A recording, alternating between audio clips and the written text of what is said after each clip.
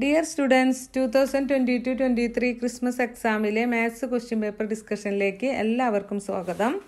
ഒരു സിക്സ് ആക്ടിവിറ്റീസാണ് നമ്മൾക്ക് ചെയ്യാനുണ്ടായിരുന്നത് ഇന്നത്തെ എക്സാമിൽ അപ്പോൾ നമുക്ക് ഫസ്റ്റത്തെ ആക്ടിവിറ്റിയിലോട്ട് പോകാം. Activity one find the number സംഖ്യ കണ്ടെത്താം. Neethu is finding new numbers using the numbers given in the picture for that she has to find out the differences between the numbers in the opposite boxes അതായത് ചുവടെ ഒരു picture കാണില്ലേ ആ പിക്ചറിലെ സംഖ്യകൾ ഉപയോഗിച്ച് നീതു പുതിയ നമ്പർ കണ്ടെത്തുകയാണ്. അപ്പോൾ അതിനായിട്ട് ആദ്യം നമ്മൾ എന്താ ചെയ്യേണ്ടത്? ഒരു സംഖ്യയ്ക്ക് എതിരെയുള്ള കളത്തിലെ സംഖ്യയുമായുള്ള വ്യത്യാസം കണ്ടെത്താം. അപ്പോൾ ഫസ്റ്റ് നമുക്കിപ്പോൾ ടു തൗസൻഡ് സെവൻ ഹൺഡ്രഡ് എന്ന് വെച്ചാൽ അതിന് നേരെ opposite one thousand two hundred അല്ലേ? അപ്പോൾ അങ്ങനെ ഓപ്പോസിറ്റ് സംഖ്യകളുടെ വ്യത്യാസമാണ് നമുക്ക് കാണേണ്ടത്. അപ്പോൾ four thousand thirty minus three thousand അപ്പോൾ അത് കുറച്ച് കിട്ടുമ്പോൾ നമുക്ക് എത്ര കിട്ടും? വൺ തൗസൻഡ് തേർട്ടി ഇനി next five thousand five hundred twenty minus അതിന്റെ ഓപ്പോസിറ്റുള്ള സംഖ്യ two thousand four hundred ninety five അപ്പോൾ അത് കുറയ്ക്കുമ്പോൾ നമുക്ക് ത്രീ തൗസൻഡ് ട്വന്റി ഫൈവ് ഇനി നെക്സ്റ്റ് സംഖ്യ ടു തൗസൻഡ് സെവൻ ഹൺഡ്രഡ് അതിന് ഓപ്പോസിറ്റുള്ള സംഖ്യ വൺ തൗസൻഡ് ടു ഹൺഡ്രഡ് അപ്പോൾ അത് മൈനസ് ചെയ്യുമ്പോൾ വൺ തൗസൻഡ് ഫൈവ് ഹൺഡ്രഡ് അപ്പോൾ എ ബി സി നമ്മൾ ചെയ്തു. ഇനി ഡി ക്വസ്റ്റ്യൻ ആണ്. Now Neethu got three new numbers അപ്പോൾ നീതുവിന് പുതിയ ഒരു പുതിയ മൂന്ന് നമ്പേഴ്സ് കിട്ടി ഇല്ലേ? Find the sum of these three new numbers and write it in the box below അപ്പോൾ നമ്മൾ എന്താ ചെയ്യേണ്ട? ആ പുതിയ കിട്ടിയ ന്യൂ നമ്പേഴ്സ് മൂന്നും കൂടി ആഡ് ചെയ്ത് താഴെയുള്ള ബോക്സിൽ എഴുതണം. അപ്പോൾ ഏതൊക്കെ നമ്പർ നമുക്ക് കിട്ടിയത്? One thousand thirty plus one thousand five hundred plus three thousand twenty five അപ്പോൾ നമുക്ക് ഏതാ പുതിയ നമ്പർ ഒരു പുതിയ നമ്പർ കിട്ടിയത് five thousand five hundred fifty five ഒരു ഫാൻസി നമ്പറാണ് നമുക്ക് കിട്ടിയത്. അപ്പോൾ ഒന്നാമത്തെ ആക്ടിവിറ്റി കഴിഞ്ഞു. ഇനി രണ്ടാമത്തെ ആക്ടിവിറ്റി റെക്റ്റാങ്കിൾ ആൻഡ് ട്രയാങ്കിൾ അതായത് റെക്റ്റാങ്കിൾ എന്ന് പറഞ്ഞാൽ ചതുരം ട്രയാങ്കിൾ എന്ന് പറയുമ്പോൾ ത്രികോണവും. അപ്പോൾ Vinu cut rectangular paper and made two triangle അപ്പോൾ വിനു ചതുരാകൃതിയിലുള്ള ഒരു പേപ്പർ മുറിച്ച് രണ്ട് ത്രികോണങ്ങൾ ആക്കിയത്. ത്രികോണങ്ങളാക്കി. അപ്പോൾ അത് അതാണ് നമുക്ക് കാണാൻ ആ പിക്ചറിൽ കാണുന്നത്.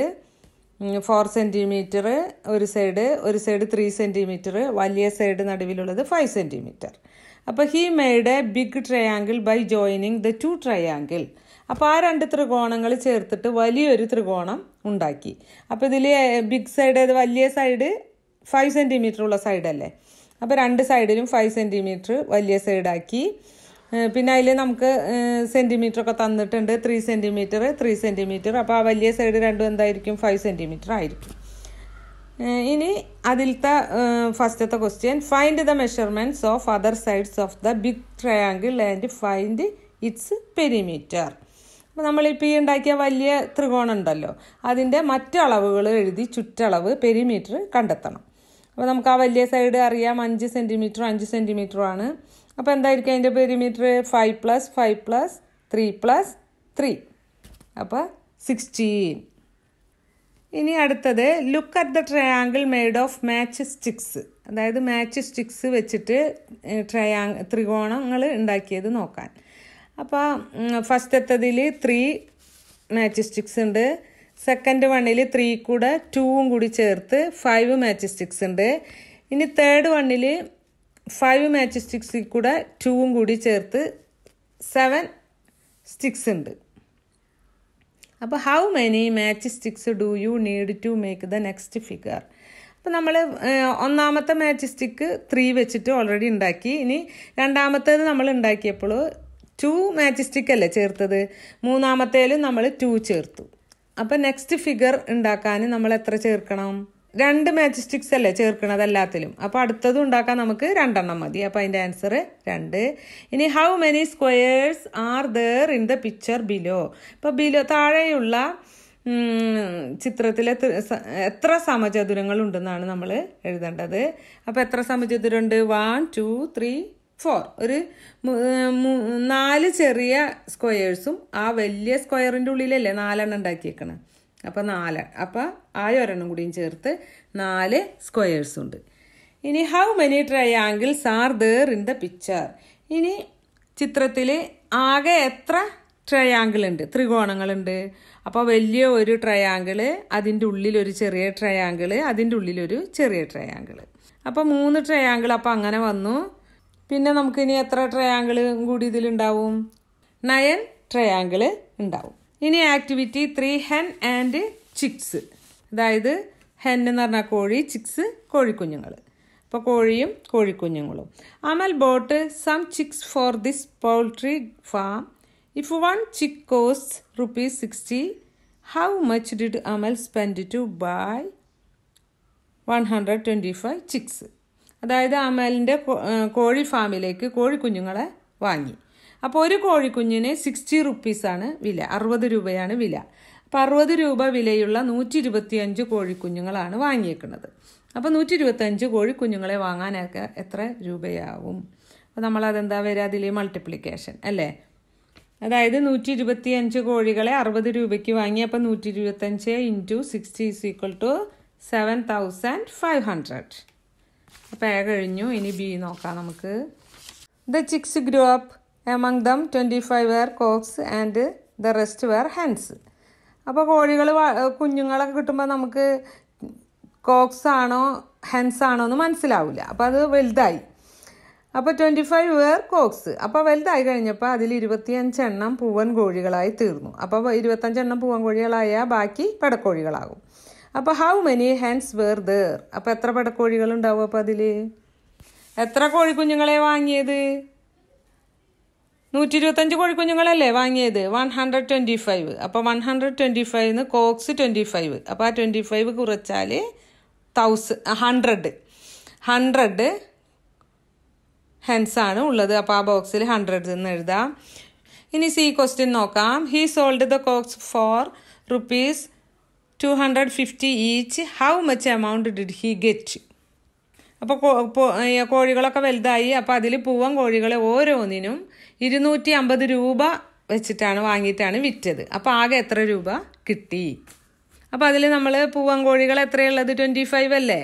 അപ്പോൾ ട്വന്റി ഫൈവ് ട്വന്റി ഫൈവ് പൂവൻ കോഴികളെ ഇരുന്നൂറ്റി അമ്പത് രൂപ വെച്ചാണ് വിറ്റത്. അപ്പോൾ ഇരുന്നൂറ്റി അമ്പത് into twenty five six hundred അല്ല six thousand two hundred fifty അപ്പോൾ നമ്മളുടെ നമ്മൾ മൂ ത്രീ ആക്ടിവിറ്റീസും ചെയ്തു കഴിഞ്ഞു. ഇനി ഫോർത്ത് ആക്ടിവിറ്റിയിലേക്ക് പോകുന്നതിന് മുമ്പ് ഇതുപോലത്തെ അക്കാഡമിക് റിലേറ്റീവ് വീഡിയോയ്ക്ക് വേണ്ടി സബ്സ്ക്രൈബ് ചെയ്യുമല്ലോ.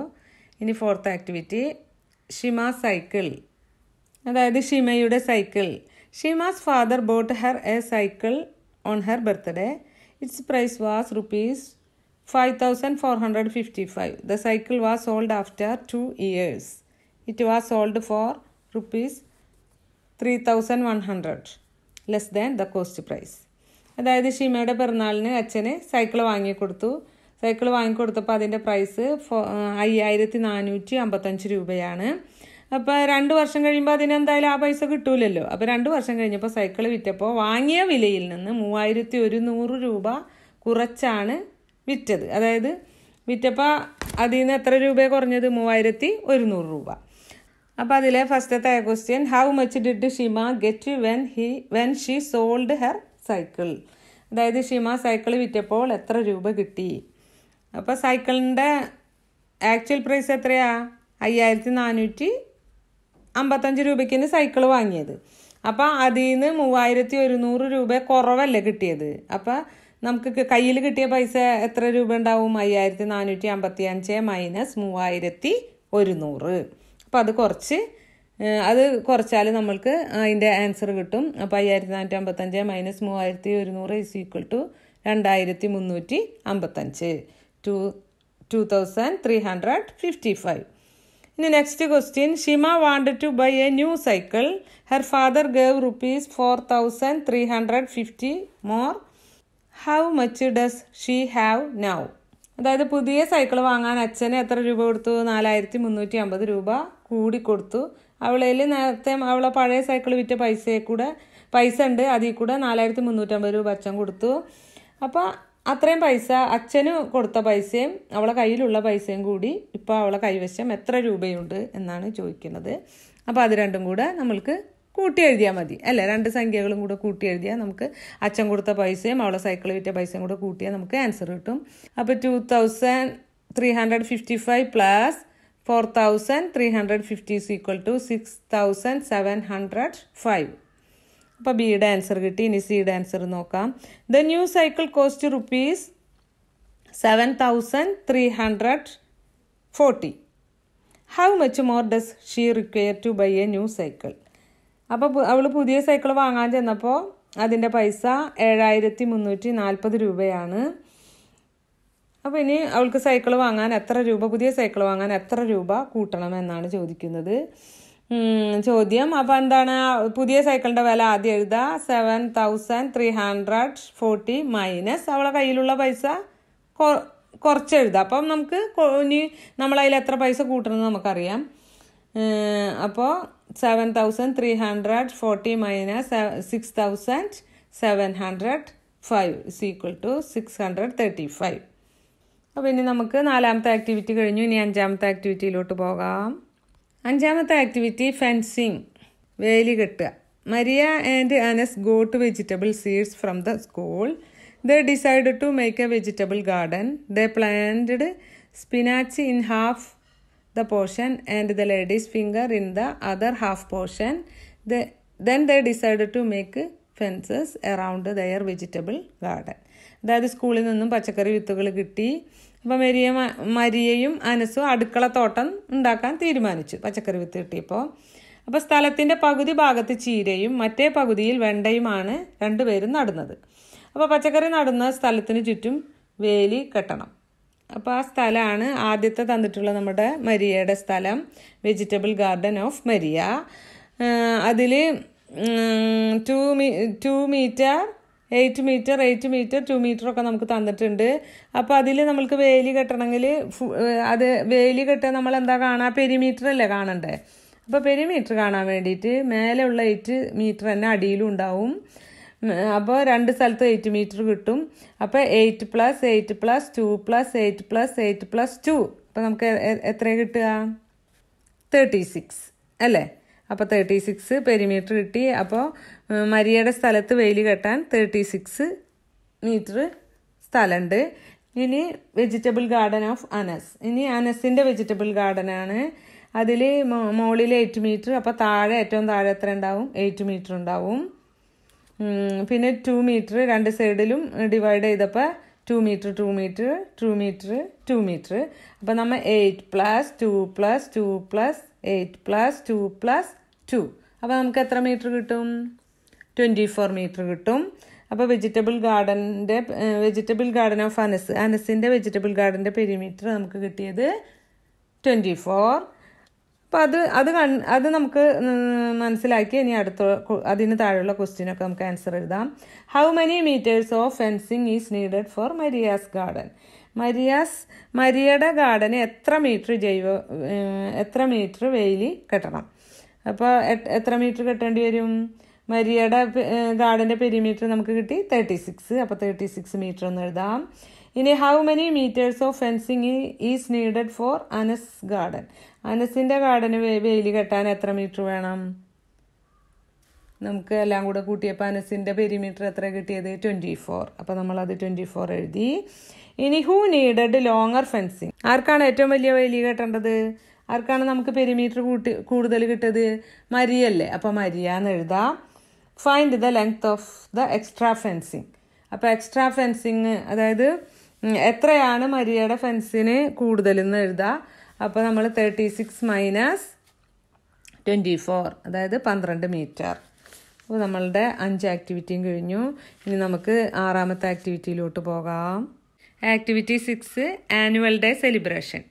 The Gandhi club decided to present gifts to gifted children during annual day celebration. Pencil boxes note books and story books were the gifts. To by the gifts all the 86 members of the club donated rupees 100 each അതായത് ഗാന്ധി ക്ലബിന്റെ വാർഷിക ആഘോഷത്തിന് അവരുടെ ഗ്രാമത്തിലെ പ്രതിഭകളായ gifted children ആയിട്ടുള്ള കുട്ടികൾക്ക് സമ്മാനം നൽകാൻ തീരുമാനിച്ചു. അപ്പോൾ എന്തൊക്കെയാണ് സമ്മാനം കൊടുക്കുന്നത് പെൻസിൽ ബോക്സ് നോട്ട് ബുക്ക് പുസ്തകങ്ങൾ എന്നിവയാണ് സമ്മാനമായി നൽകുന്നത് അപ്പോൾ ഇവ വാങ്ങാനായി ക്ലബിലെ ക്ലബിലുള്ള എൺപത്താറ് മെമ്പേഴ്സും നൂറ് രൂപ വീതം നൽകി. അപ്പോൾ അതിന്റെ അടിസ്ഥാനത്തിലാണ് താഴെയുള്ള ക്വസ്റ്റ്യൻസിന് ആൻസേഴ്സ് നമ്മൾ നൽകേണ്ടത്. അപ്പോൾ first question how much did they collect from the members മെമ്പേഴ്സിൽ നിന്നും എത്ര രൂപയാണ് പിരിച്ചു കിട്ടിയത്? അതായത് എൺപത്താറ് അംഗങ്ങൾ നൂറ് രൂപ വെച്ചിട്ട്. അപ്പം എൺപത്താറ് ഇന്റു നൂറ്. അപ്പം നൂറിൽ എത്ര പൂജ്യം ഉണ്ട് രണ്ട് പൂജ്യം ഉണ്ട് അപ്പം എൺപത്താറിൽ കൂടെ രണ്ട് പൂജ്യം ചേർത്ത് നമുക്ക് ആ ആൻസർ കിട്ടും എയ്റ്റ് തൗസൻഡ് സിക്സ് ഹൺഡ്രഡ് ഇനി രണ്ടാമത്തെ question fifty children were given pencil boxes and note books അതായത് അമ്പത് കുട്ടികൾക്ക് ട്വന്റി ഫൈവ് റുപ്പീസിന്റെ പെൻസിൽ ബോക്സും the pencil box cost and the note book cost rupees thirty five how much will be the total cost അതായത് അമ്പത് കുട്ടികൾക്ക് ഇരുപത്തഞ്ച് രൂപയുടെ പെൻസിൽ ബോക്സും മുപ്പത്തഞ്ച് രൂപയുടെ നോട്ട് ബുക്കും നൽകി. അപ്പോൾ രണ്ട് ഗിഫ്റ്റാണ് കൊടുക്കുന്നത്.